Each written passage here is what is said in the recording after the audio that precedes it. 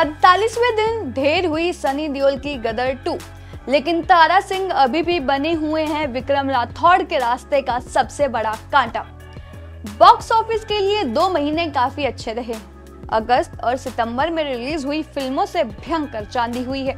हालाँकि कई मूवीज़ आई, लेकिन तहलका जिसने मचाया वो है गदर टू और जवान।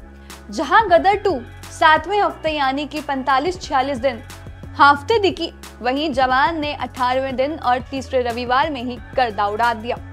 लेकिन तारा सिंह की गड्डी का बॉक्स ऑफ़िस पर ब्रेक नहीं लग रहा है। 11 अगस्त को सिनेमा घरों में गदर टू रिलीज़ हुई। इस फ़िल्म को थिएटर में लगे हुए 46 दिन हो चुके हैं और अब ये जवान के रास्ते का सबसे बड़ा कांटा बन गई है।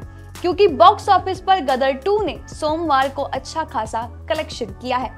जी हाँ पैंतालीसवें दिन रविवार को घरेलू बॉक्स ऑफ़िस यानी कि डोमेस्टिक बॉक्स ऑफ़िस पर पैंसठ लाख का सिंगल डे बिज़नेस करने वाली इस फ़िल्म ने सोमवार को सिंगल डे पर 25 लाख रुपए का बिज़नेस किया है। गदर टू ने अब तक डोमेस्टिक बॉक्स ऑफ़िस पर 523.79 करोड़ का नेट कलेक्शन किया, जबकि ग्रॉस ये फ़िल्म 617.75 करोड़ कमा चुकी है।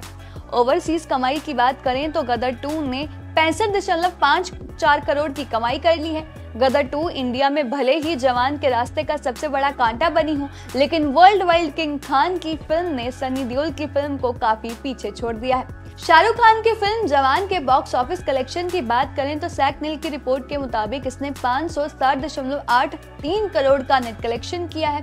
वहीं तीसरे रविवार को सिर्फ़ देखें तो इस दिन उसने करीब 15 करोड़ रुपए कमाए। वैसे अब तो शाहरुख खान गदर टू को पीछे छोड़ते हुए अपनी ही फ़िल्म पठान का रिकॉर्ड तोड़ने में लगे हैं। हालाँकि वो दिन दूर नहीं है जब ये मूवी वर्ल्ड वाइड 25 जनवरी को आई पठान को भी पछाड़ देगी।